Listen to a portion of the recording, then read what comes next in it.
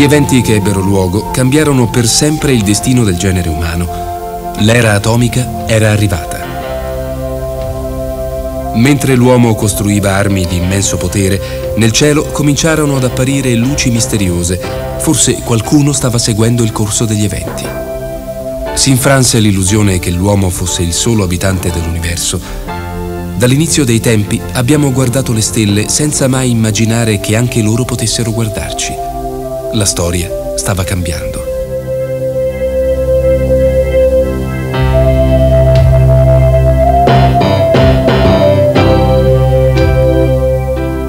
Il 20 luglio 1952 improvvisamente nel cielo sopra Washington, muovendosi dalla Casa Bianca verso il Campidoglio, e centinaia di persone furono testimoni di questo evento straordinario e ne rimasero sbalordite.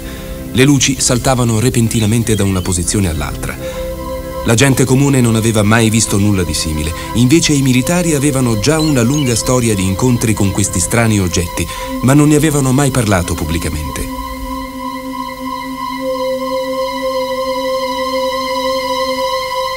Fu convocata immediatamente una riunione allo scopo di studiare un piano per distogliere l'attenzione del pubblico dall'avvenimento.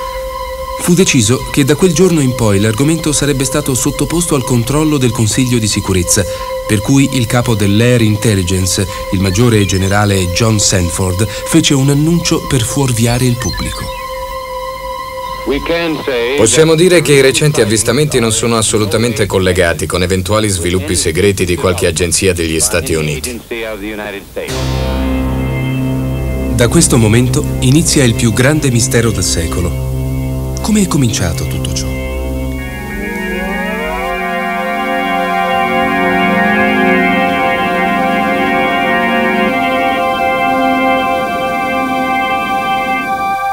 Dopo lo scoppio della prima bomba atomica furono fatti molti controlli sull'ambiente e sui soggetti umani per stabilire il grado di contaminazione provocato. Fino a quel momento non erano conosciuti gli effetti della contaminazione a lungo termine. Qui, nel Nuovo Messico, la base militare chiamata Roswell diventò il centro dell'attenzione il 2 luglio 1947, quando Bill Brazel, un contadino, trovò un velivolo a forma di disco che era caduto sul suo terreno. I militari arrivati sul posto trovarono i rottami scagliati su una vasta area e rapidamente isolarono la zona. Furono trovati quattro corpi di umanoidi che erano stati proiettati fuori dal velivolo.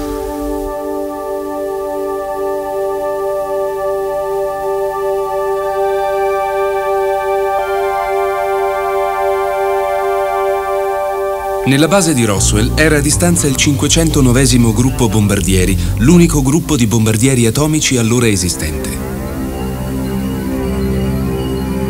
Il maggiore Jesse Marcel, un ufficiale dell'Intelligence Army, fu assunto per le operazioni di recupero e chiese a Walter Holt, l'ufficiale delle relazioni, un comunicato stampa per i vari mass media. Mi chiese di preparare un comunicato stampa con tutte le informazioni principali, comunicatemi per telefono, e di recapitarlo al più presto ai vari giornalisti che gestivano i quattro notiziari, cosa che feci all'istante.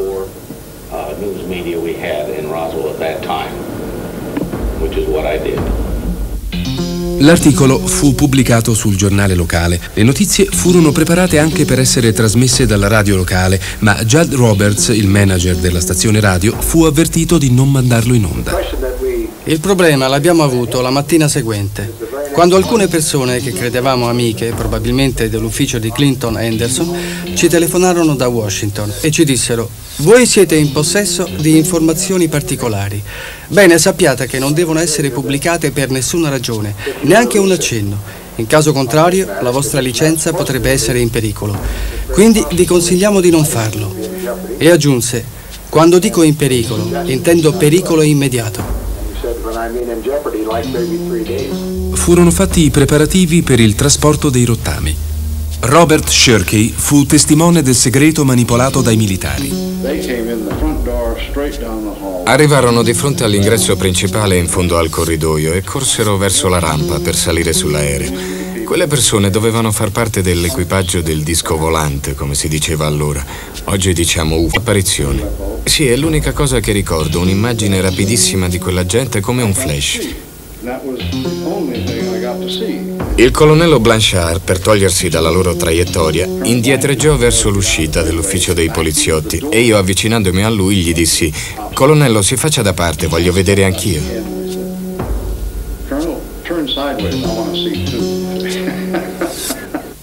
Su istruzione del Pentagono, Thomas Jefferson Dubose e il generale Ramey crearono una storia di copertura dicendo che l'oggetto caduto era un pallone sonda.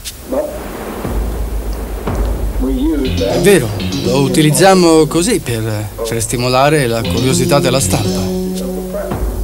I rottami furono caricati su un aeroplano e portati per sicurezza alla base aerea Wright-Patterson. Il pilota tenne il segreto per diversi anni. Gli dissi, perché hai aspettato tanto tempo? E lui mi rispose, erano anni che volevo parlartene, ma non trovavo il coraggio. Disse, devi assolutamente leggere questo articolo perché è una storia vera. E io lo so per certo che è una storia vera perché sono io il pilota che portò il relitto dell'UFO a Dayton, Ohio. La base aerea di Wright-Patterson era considerata il centro di ricerca tecnologicamente più avanzato degli Stati Uniti. I rottami di Roswell furono smantellati per essere analizzati. L'argomento fu considerato di tale importanza che gli ordini vennero direttamente dal presidente Truman. Truman creò un gruppo chiamato Majestic 12 per gestire e coprire ogni informazione sugli UFO. Il presidente Truman diede il compito di gestire il fenomeno UFO solo ai politici e militari di più alto grado.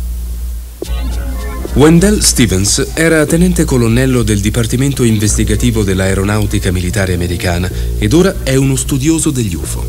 Ora gli Stati Uniti avevano un veicolo extraterrestre e dei veri alieni nelle loro mani, solo che non sapevano quando sarebbe arrivato il prossimo, da dove erano venuti e che cosa fare con quella gente.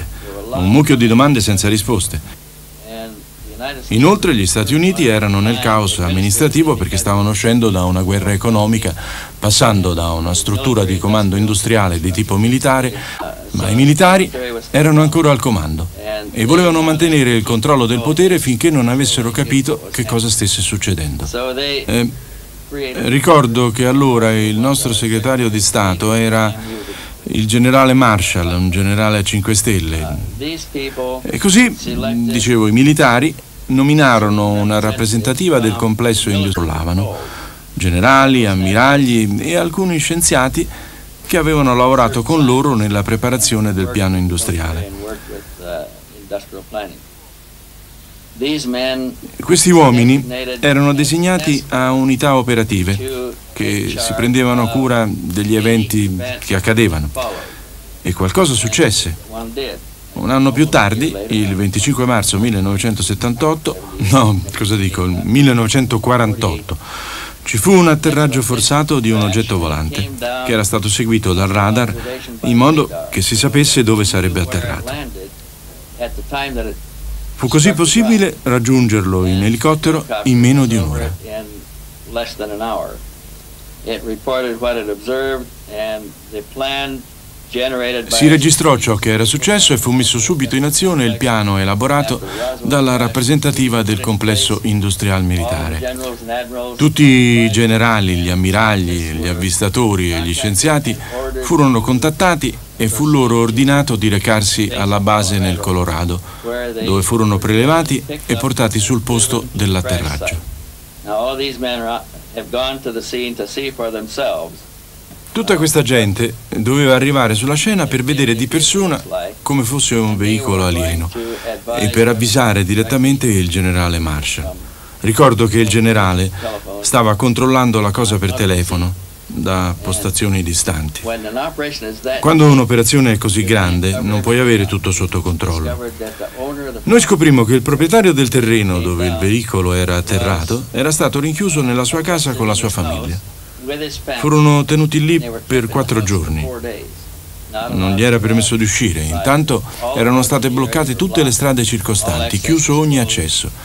La gente che abitava nei dintorni non capiva il perché di certe operazioni. Ora, se questo non fosse mai successo, sarebbe rimasto tutto segreto. Invece abbiamo trovato delle prove concrete che qualcosa di strano era accaduto e che questi avvenimenti si erano realizzati. Poi incontrammo persone che avevano osservato il recupero del velivolo da lontano e che avevano visto le unità operative spostarsi attraverso le strade di campagna con mezzi militari dirigendosi verso Los Alamos. Forti di questi indizi, scovammo altri testimoni, tutte persone costrette al silenzio dai loro superiori per il fatto di aver partecipato a quegli eventi. Solo pochi erano disposti a parlarci, ma a condizione di rimanere nell'anonimato per paura di rivalse. Infatti, in caso di violazione sarebbe stata sospesa ogni indennità, avrebbero subito ogni sorta di sanzione, potevano addirittura essere imprigionati. Insomma, si trattava di una vera e propria rappresaglia. Attraverso la segreteria di Stato del generale Marshall fu intensificato il controllo delle notizie sugli UFO si sviluppò una più stretta collaborazione tra i militari e il Majestic 12. Virgil Armstrong fu ufficiale dell'Intelligence Service e lavorò a incarichi di alto livello con la CIA. Si ritirò con il grado di maggiore.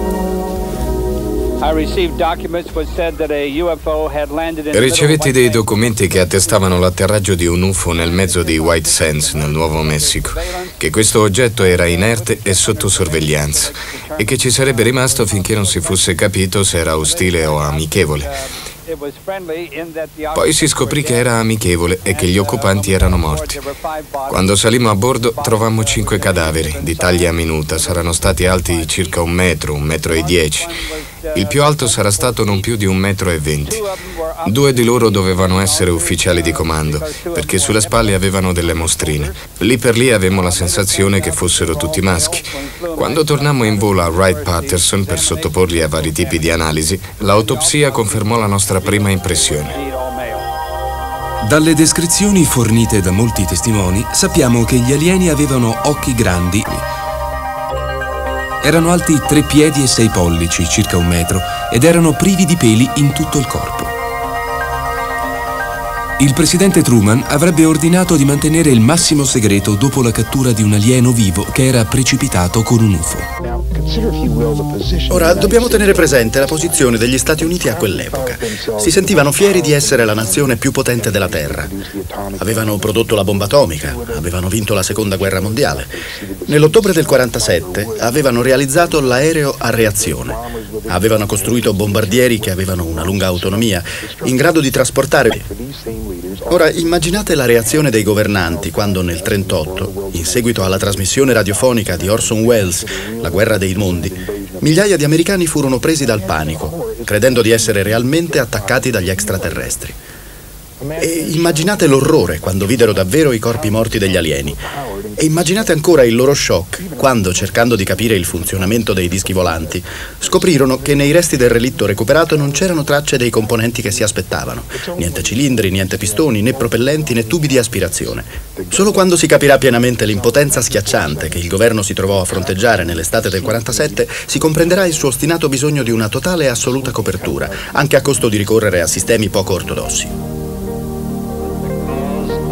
Considerando che gli avvistamenti UFO erano sempre più frequenti, fu deciso di creare un progetto chiamato Blue Book, che aveva il compito di evitare che venissero divulgate queste notizie e di diffondere un'atmosfera di ridicolo attorno all'argomento UFO.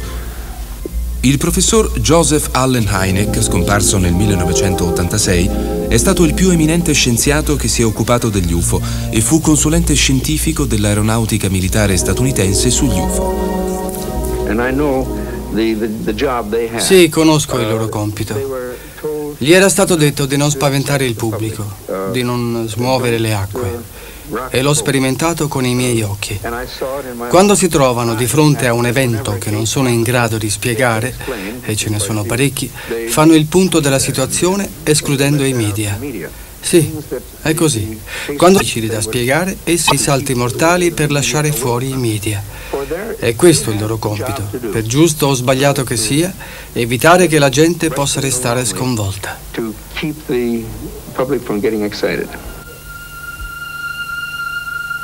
Secondo alcune testimonianze, nel 1948 fu catturato un alieno vivo dopo che un UFO precipitò in America. Esso si sarebbe rifiutato di comunicare per un anno. Gli venne dato il sigla di entità biologica extraterrestre. Più tardi, EBE cominciò a comunicare e fornì dettagli sul suo pianeta. Aveva un grosso visore di cristallo che apparentemente collegava telepaticamente la sua mente a quella degli altri della sua razza. Egli era anche in grado di vedere nel passato con tale strumento. Su richiesta degli alieni fu organizzato un incontro con il presidente Eisenhower nel 1954. Ebbe luogo sotto stretta sorveglianza in un posto segreto. In questa riunione ci furono negoziati per consentire la presenza degli alieni sulla Terra. Eisenhower disse agli alieni che il mondo non era ancora pronto per loro. Eisenhower fu testimone della dimostrazione del potere tecnologico alieno a Mirak Tria Lake, che oggi si chiama Base Aeronautica Edwards. Ritengo che sia stato fatto un patto per cui in cambio di armi e di alta tecnologia gli uomini non avrebbero rivelato la loro esistenza. Eisenhower adottò un comportamento tipicamente militare come nessun altro presidente avrebbe saputo fare. In sostanza, permise che il potere dell'ufficio esecutivo sfuggisse di mano al presidente per finire al MJ-12, che faceva capo ai servizi segreti. Il presidente non aveva un livello di autorizzazione sufficientemente alto per sapere cosa stava succedendo. Faccio notare che sopra al top secret c'erano altri 38 livelli di autorizzazione. Eisenhower fu l'ultimo presidente a essere stato informato sul programma degli UFO. Ciò suscitò lo sdegno di chi stava al potere, militari e intelligence. Da quel momento nessun presidente ha più avuto il livello di autorizzazione necessario per sapere tutto ciò che gli succede intorno. Si sa che ci sono gli alieni, si sa che sono stati recuperati che il potere cerca di impadronirsi della loro tecnologia, ma ci sono tante altre cose di cui sono a conoscenza solo 25 persone in tutto il mondo.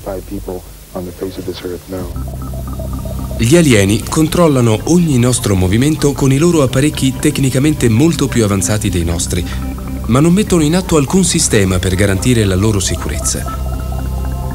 Questo sarebbe stato successivamente provato dalla caduta di un altro UFO in Sudafrica nel 1989. Il caso si riferisce alla caduta di un'astronave larga circa 15 metri che si schiantò nel deserto del Kalahari. Documenti ufficiali militari rivelano che il velivolo entrò nello spazio aereo del Sudafrica alle 13.45 del 7 maggio del 1989 e fu intercettato da due jet da combattimento Mirage. Poiché il velivolo non diede risposta, a uno dei piloti fu dato l'ordine di attaccare. Una volta colpito, l'UFO non poté più manovrare e si schiantò al suolo. Dopo che lo scafo era stato recuperato, venne trasportato in una base segreta dell'aeronautica. All'arrivo alla base si scoprì che una porta era stata parzialmente aperta sul lato del velivolo. Fu portata sul posto una pompa idraulica e la porta venne forzata. Qualche secondo dopo, due alieni vennero fuori dallo scafo barcollando e ci accorgemmo che uno di essi sembrava seriamente ferito.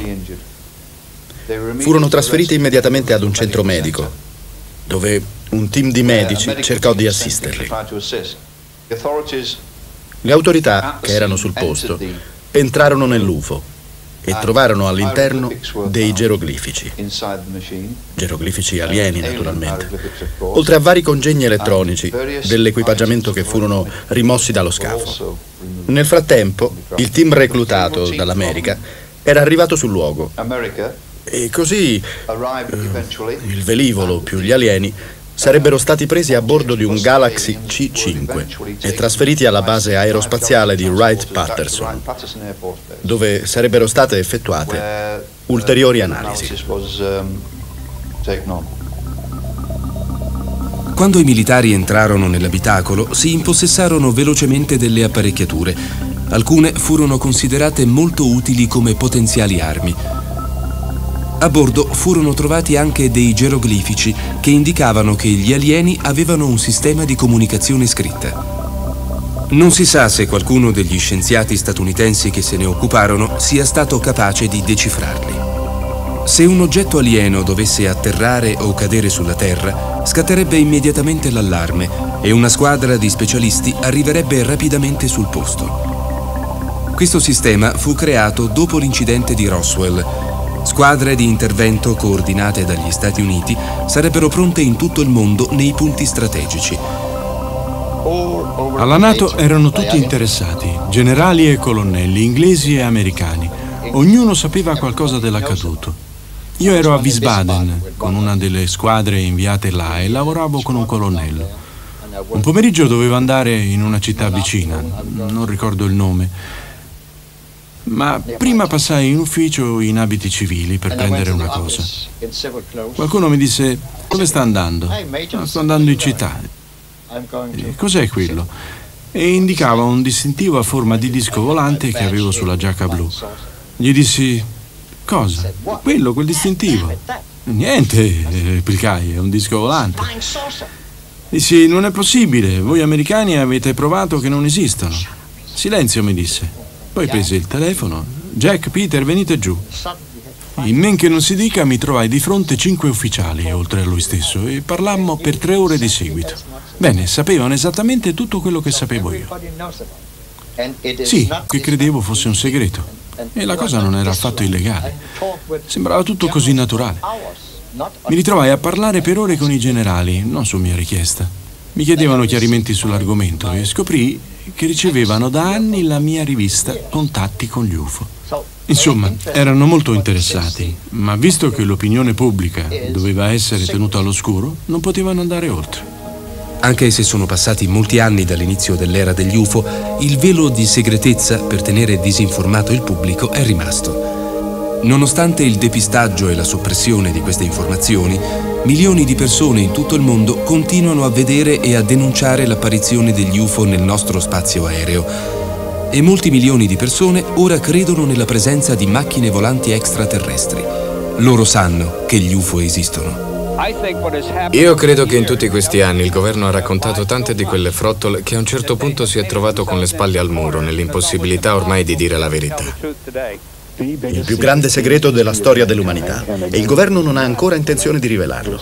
E non c'è modo di venirne fuori, neanche appellandosi al diritto di informazione.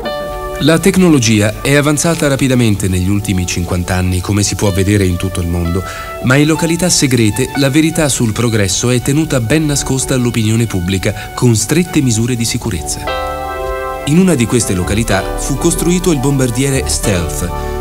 Questo velivolo sarebbe l'unico a poter volare senza essere rilevato in zone protette dai radar, quasi senza fare rumore, per compiere ogni manovra si presenti necessarie. La tecnologia usata per produrre questo velivolo è talmente più avanzata di quella tradizionale da fare sorgere una domanda. Da dove proviene? In una zona off limits del deserto del Nevada, denominata Area 51, il governo degli Stati Uniti starebbe conducendo esperimenti segreti e vi vengono avvistate regolarmente luci molto brillanti che compiono acrobazie aeree altamente superiori alla capacità dei velivoli da noi conosciuti sembrano essere controllate da un'intelligenza superiore. Se dovessimo costruire un veicolo utilizzando una tecnologia così avanzata come quella aliena, saremmo in grado di ottenere delle prestazioni straordinarie, come passare da una dimensione all'altra invece di andare dritti in una sola direzione. Sì, perché la differenza è proprio questa. Mentre con la nostra tecnologia possiamo solo viaggiare in senso lineare, come una freccia lanciata da un arco, con quella aliena potremmo saltare da una dimensione all'altra. Potremmo andare avanti e indietro a piacimento.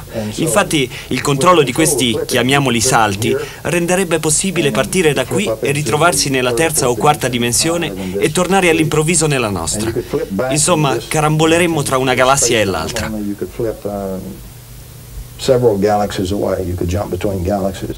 Un giorno, camminando all'aperto, può accadere di alzare gli occhi verso il cielo e di notare all'orizzonte un bagliore argenteo che evoca un passato dimenticato. È il segno che i tempi sono maturi per risalire alle nostre radici, in quello che sarebbe un felice ritorno all'essenza dell'uomo. L'uomo è un sistema molto complesso che possiede la capacità di rendere i cambiamenti molto visibili. Col potere della sua mente, riesce ad intercettare le fonti energetiche del cosmo per realizzare tutte le possibili necessità di vita per se stesso. I pensieri sono energia. L'energia influenza la materia. La tecnologia che deve essere usata è quella della pace perché elimina la guerra. Il cosmo è l'energia e la linfa vitale di tutte le cose. L'uomo è parte di questa energia e di conseguenza ha la potenzialità di realizzare praticamente tutto. Io oscillo tra il pessimismo e l'ottimismo. Ci sono diverse ragioni di essere pessimisti per il futuro. I segni del crollo possiamo vederli ovunque, dal disastro ambientale. Sembra che il sistema attuale non potrà avere un futuro. Così ci si chiede se l'umanità va incontro all'estinzione, se le civiltà subiranno un collasso o se in qualche modo riusciremo a superare la crisi per riemergere in un modo nuovo di stare insieme, in un mondo pulito, animati dallo spirito che governa l'universo intero. A questo punto torno ottimista e spero che un giorno riusciremo a realizzare questa dimensione di armonia. Ma non credo che ci arriveremo svegliandoci una mattina trovando tutto scodellato. No, credo che prima dovremo affrontare una grossa crisi.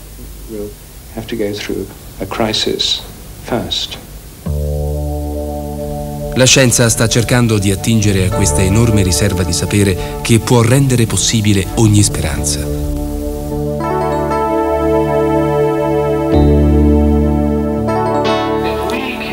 Se potessimo creare un laboratorio o una mente superiore alla materia interattiva, avremmo un tipo di mente non solo in grado di condizionare la materia stessa, ma anche di modificarne la struttura.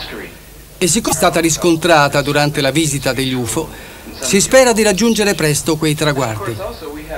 Per la verità, abbiamo già svariati casi da studiare, come quello del Sai Baba, capace di materializzare e smaterializzare le cose nelle sue mani, e altri fenomeni di lievitazione. Queste esperienze sono vere, reali, non sono trucchi di magia. Purtroppo la nostra capacità di affrontare certe realtà è stata compromessa. Avrei dovuto sapere che la cosiddetta nuova fisica rende possibile tutto ciò. In un certo senso, noi fisici abbiamo dimenticato di che cosa ci dobbiamo interessare.